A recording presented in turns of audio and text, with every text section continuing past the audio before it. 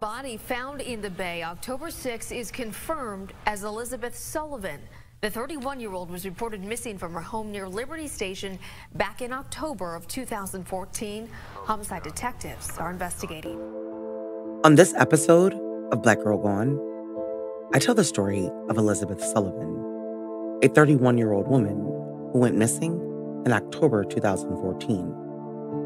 The last time Elizabeth was seen was on October 13, 2014, at her home in San Diego, California.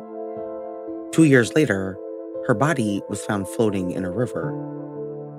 When Liz first went missing, investigators had a difficult time figuring out exactly what happened to this wife and mother.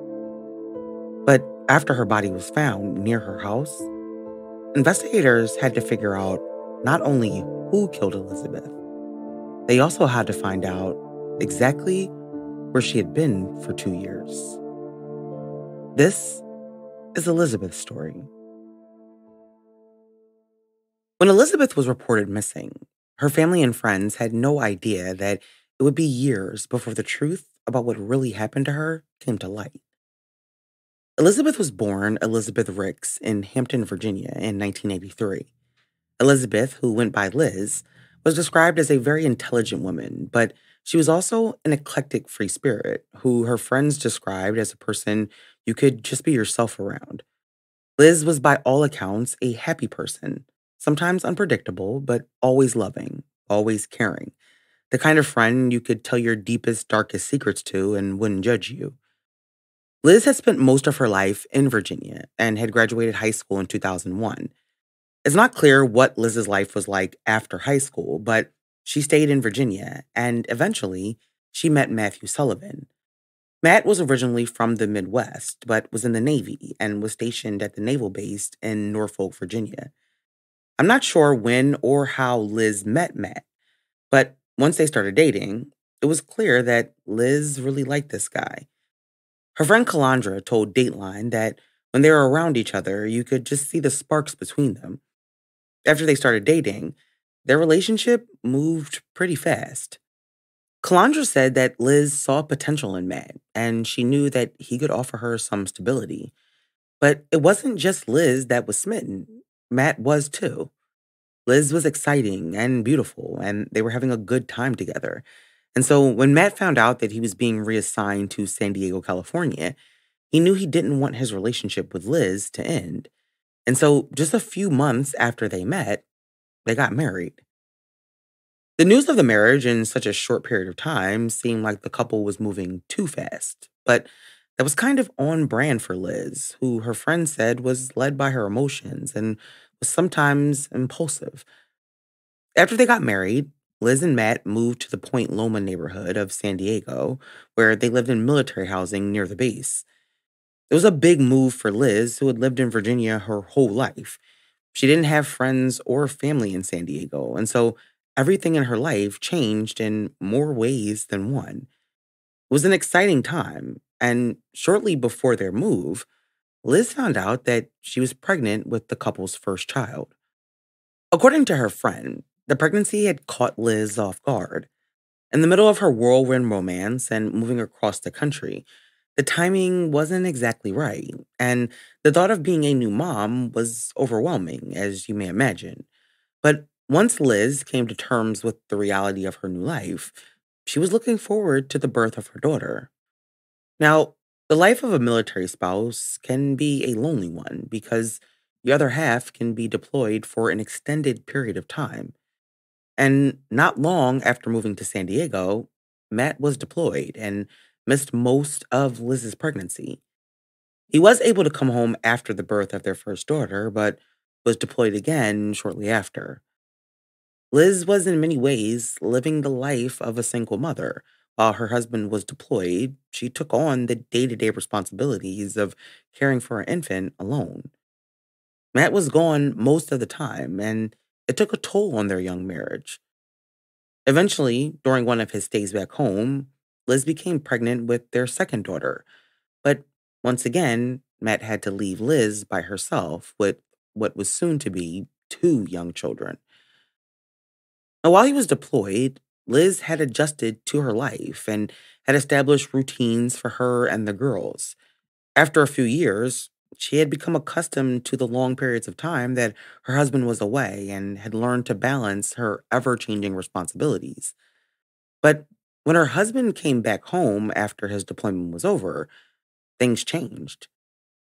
Having Matt back home should have been a joyous time for the family, but it wasn't. Liz had gotten used to being on her own with the kids, and having her husband back threw things off for her. She had established these routines that didn't include him, and things were different now that he was back. Liz was a mom now, and her priority was her children. She wasn't the same fun, spontaneous Liz that Matt had married. She had responsibilities, and so instead of Matt returning home, making their relationship stronger, the problems in their marriage began to deepen. The fact that Liz and Matthew had not known each other very long before getting married and moving across the country meant that they were really still getting to know each other. In the beginning of a relationship, it's easy to get caught up in the romance, the excitement. Sometimes we ignore the things that we shouldn't, or are simply blinded by love, or, if we're being honest, lust. And so for Liz and Matthew, he had been deployed most of their marriage. And when he came home, it was clear that they were very different. Liz would try to get Matt to do things with her and the girls, but he didn't want to. Calandra said that she would try to motivate him to do different things, and Matt just wasn't interested. He was content with just going to work and coming home, and Liz wanted more. Her friend said that she was frustrated and disappointed in her husband.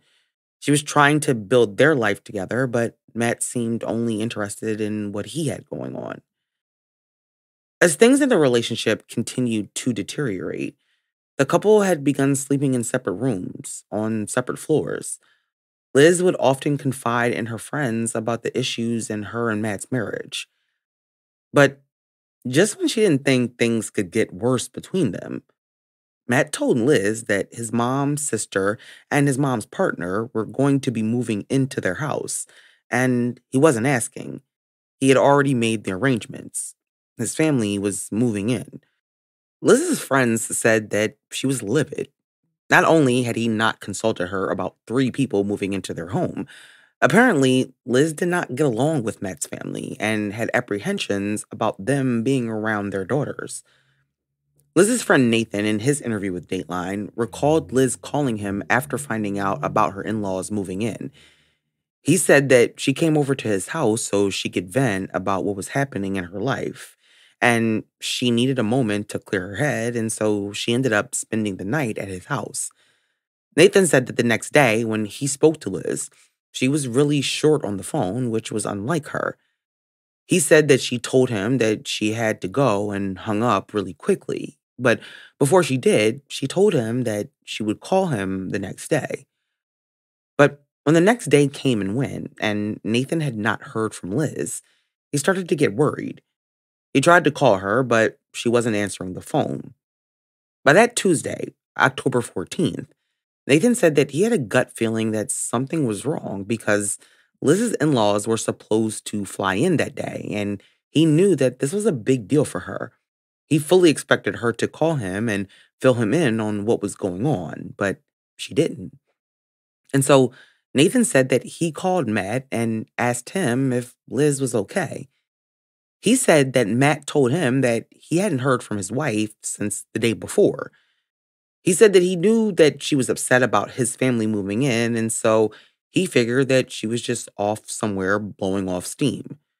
He didn't seem concerned because, according to him, this wasn't the first time that Liz had gone off by herself. But Nathan wasn't buying it. He felt like something was really wrong, and so he decided to contact the San Diego Police Department to report Liz missing. At first, police were dismissive, but when one day turned to two, and then three, Liz was officially declared a missing person. After Liz officially became a missing person, police went to the home that she shared with Matt to speak to him and do an initial search of the home. Matt told police that he and Liz were having marital problems, but he said that it wasn't unusual for her to leave.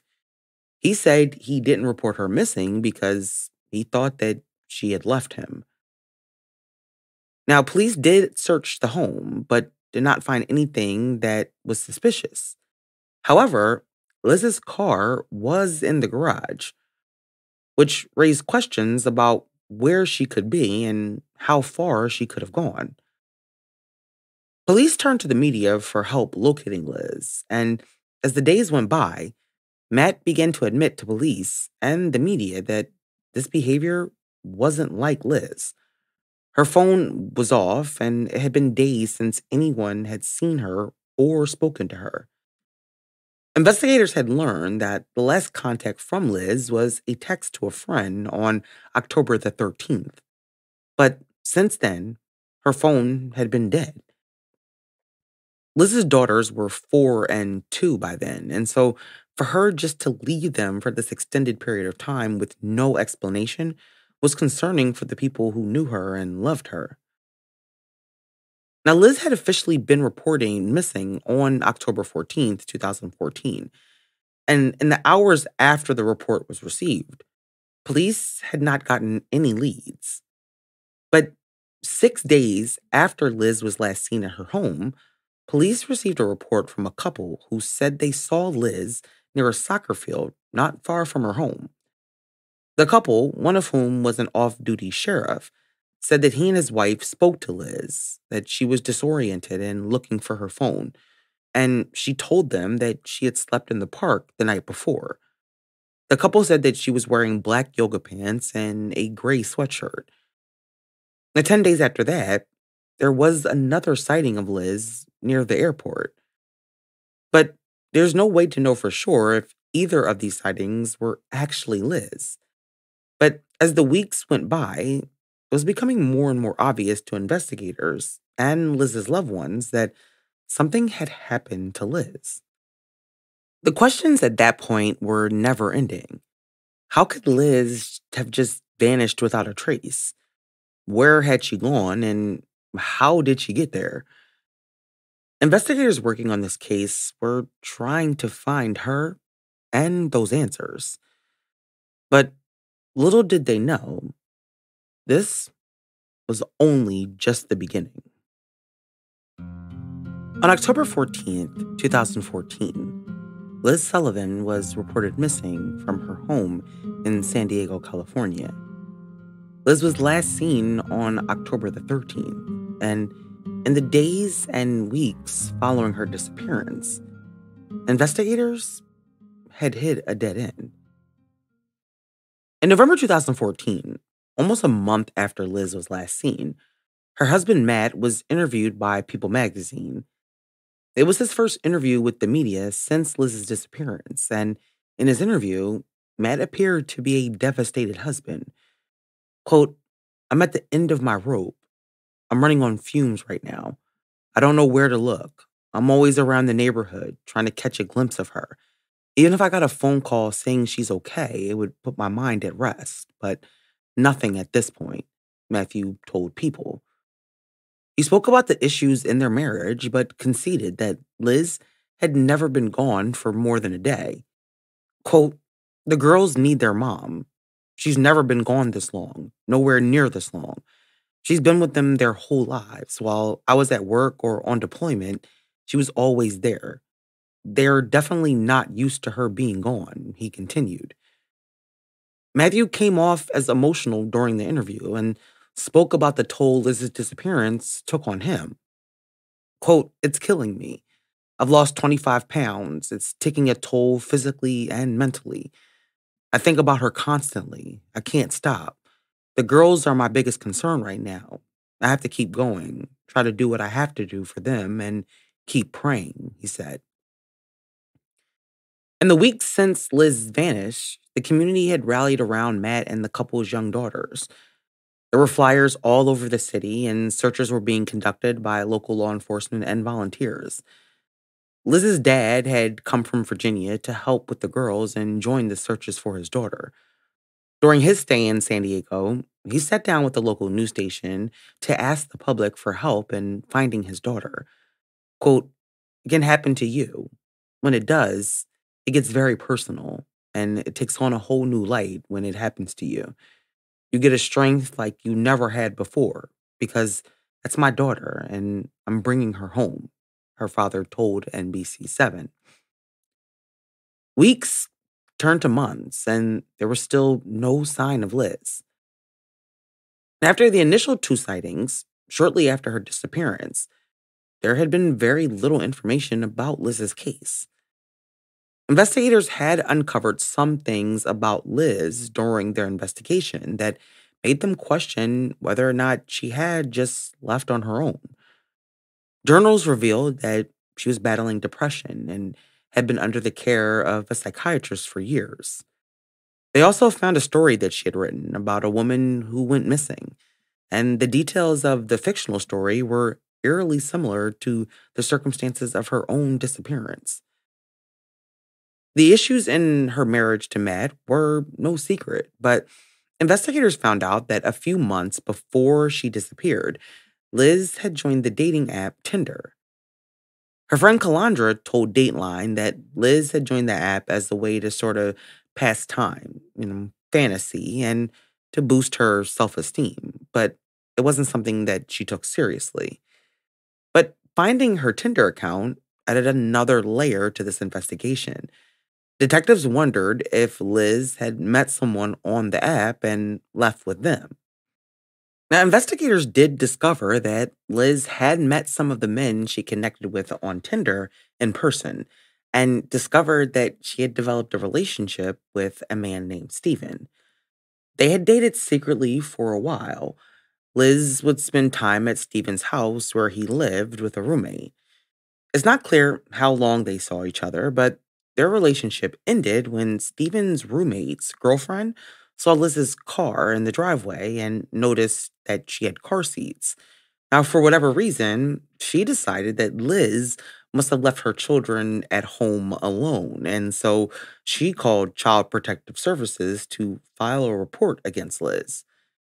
When Child Protective Services received the report, they went over to Liz's home to do a welfare check on her girls.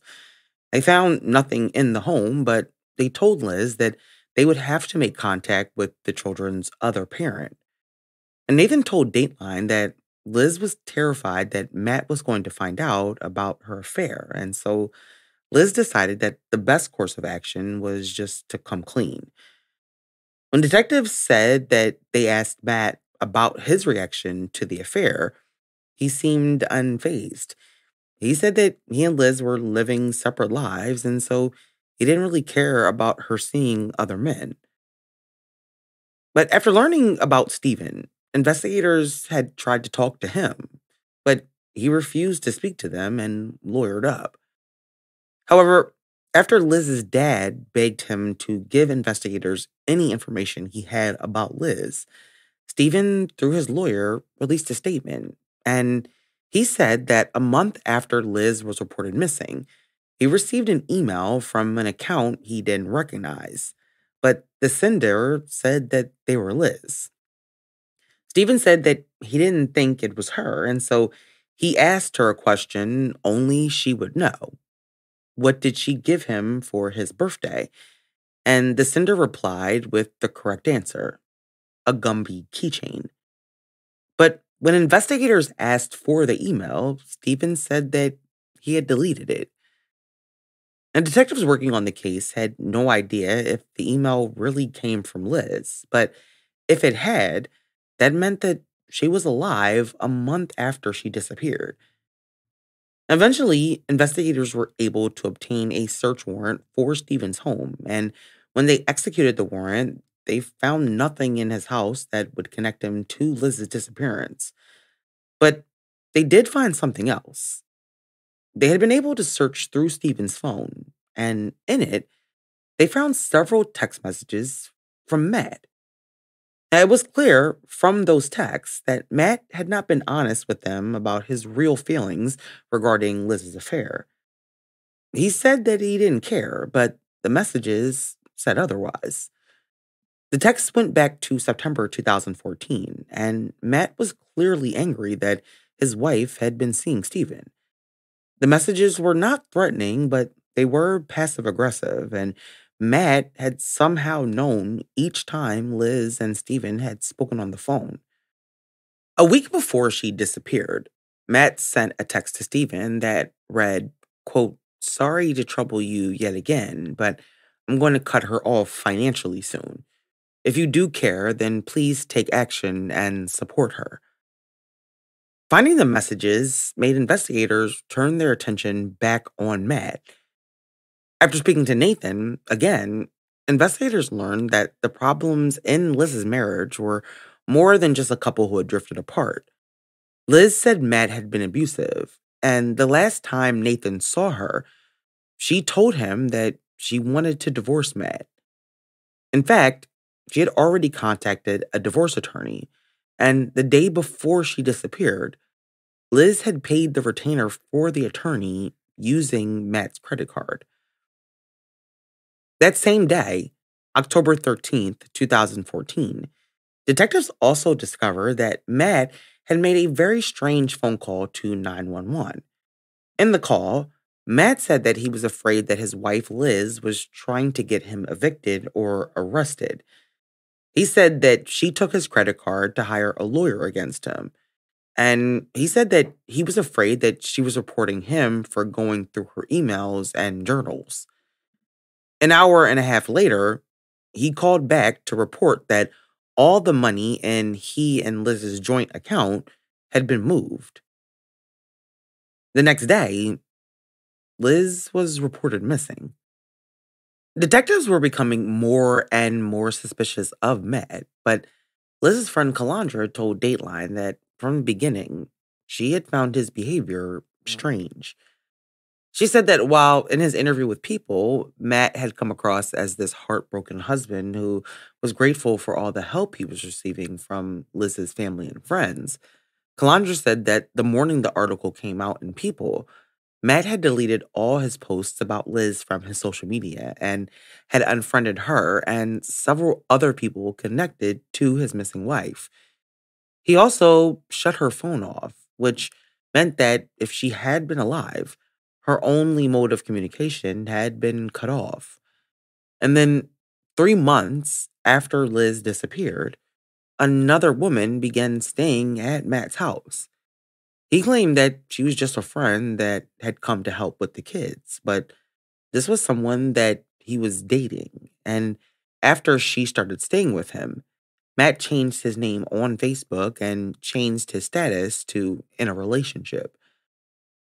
Investigators who had initially not believed that Matt was involved in Liz's disappearance slowly began to change their mind as they took a closer look at Matt.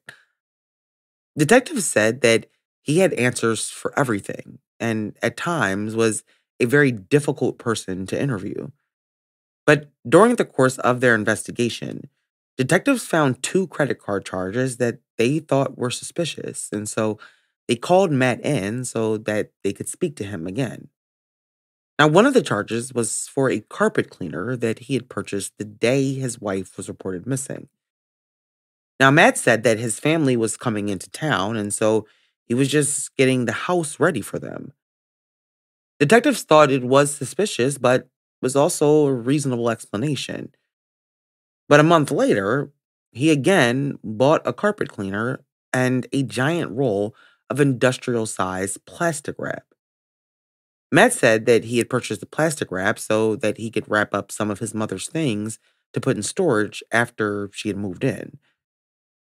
Detectives said that he had an explanation for everything, and he did. And police had no evidence to negate what he had told them. They were suspicious, but they had no proof that Matt was involved in his wife's disappearance. Ten months after she disappeared, police declared Liz's case cold. They had no solid information about her whereabouts. Eventually, Matt's new girlfriend officially moved in. His family moved out, and about a year after Liz vanished, Matt and his girlfriend had a child together. He was no longer the devastated husband searching for his wife. Matt had completely moved on and started a new life with his new girlfriend. It was starting to feel like Liz would just be another missing black woman who would never be found and whose family would never get justice. But nearly two years to the day that Liz went missing, everything changed.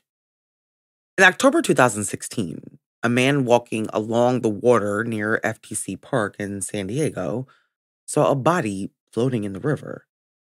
At first, he didn't know what he was seeing, but as he got closer, he realized it was, in fact, a body.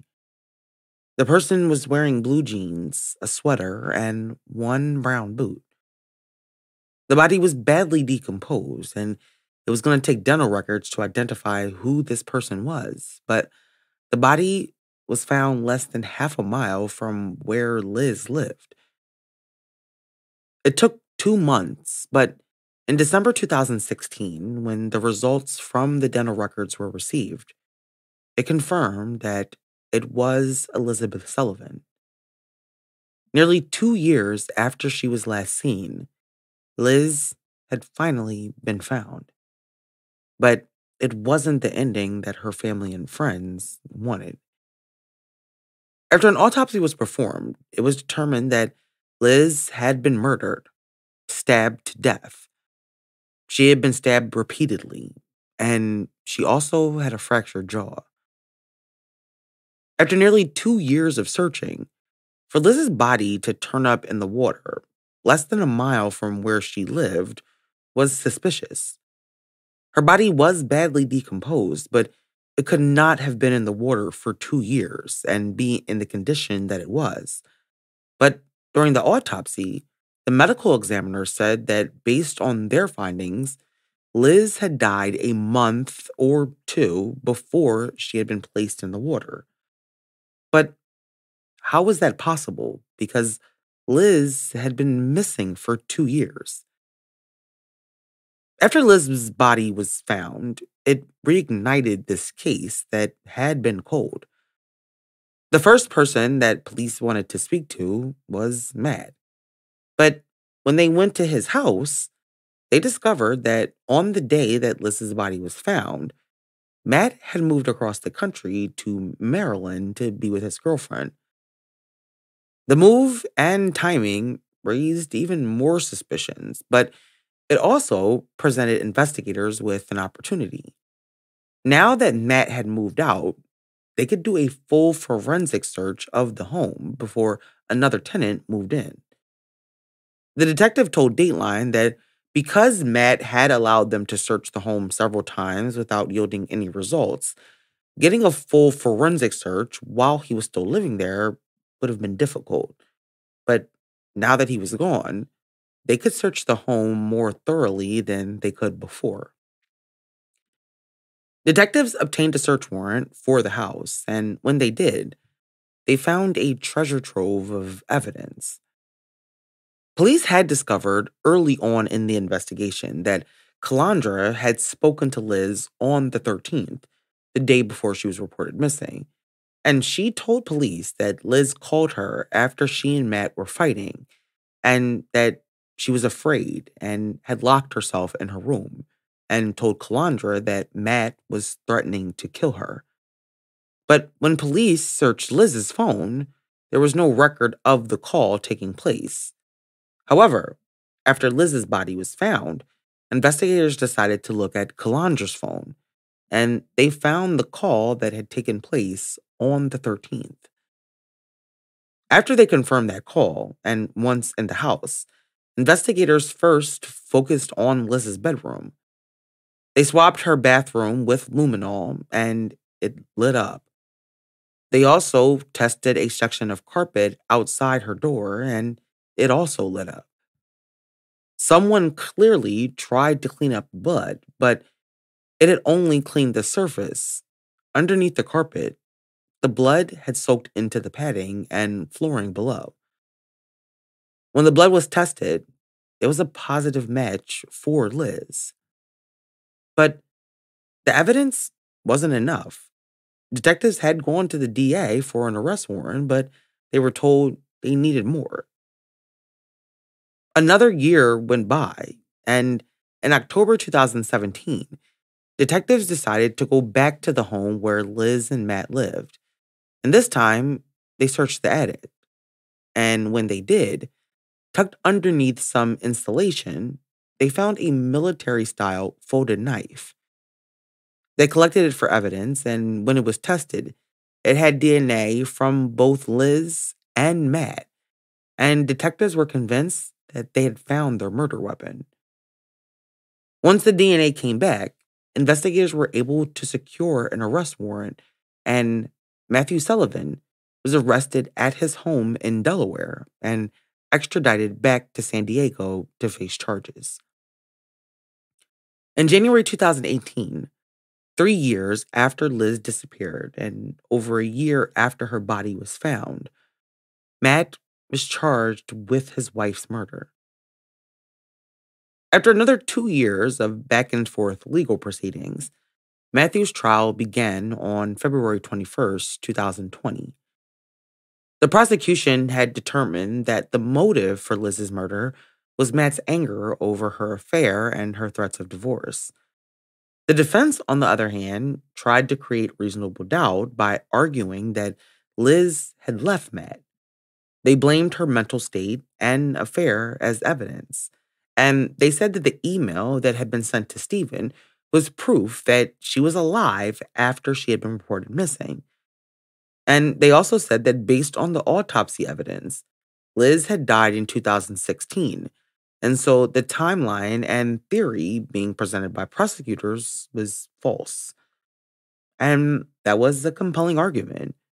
Based on the ME's initial findings, Liz had only been dead a month, two at the max, before her body was found, which presented a problem for the prosecutors, or so the defense thought. But the prosecutors had an explanation. The theory they presented was that the reason Liz's body was in the condition it was two years after she was murdered was because her body had been frozen slowing down the decomposition. The prosecution said that they believe Matt had murdered Liz and then hid her body when police searched the home.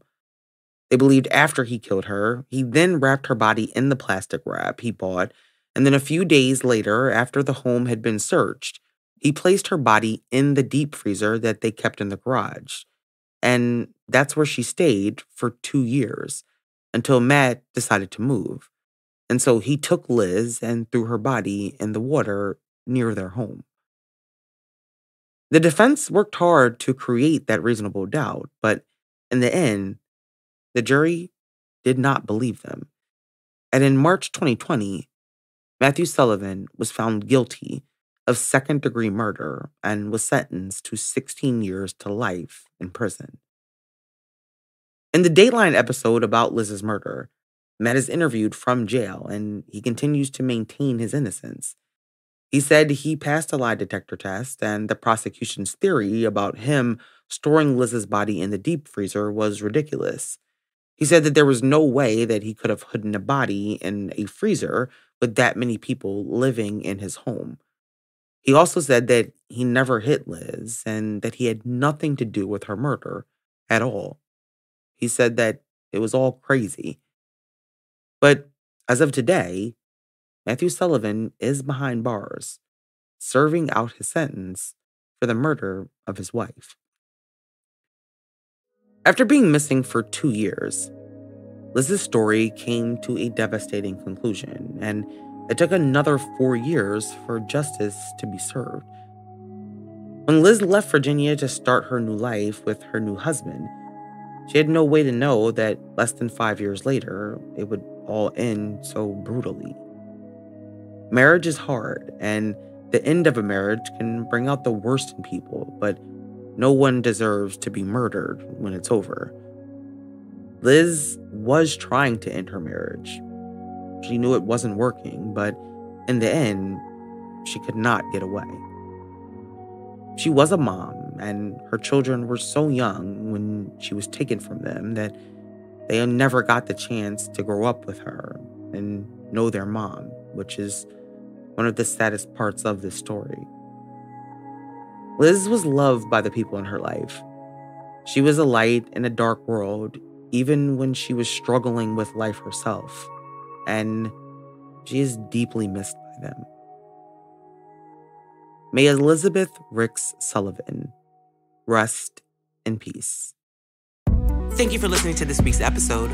Don't forget to follow us on Instagram, Facebook, YouTube, TikTok, and Threads.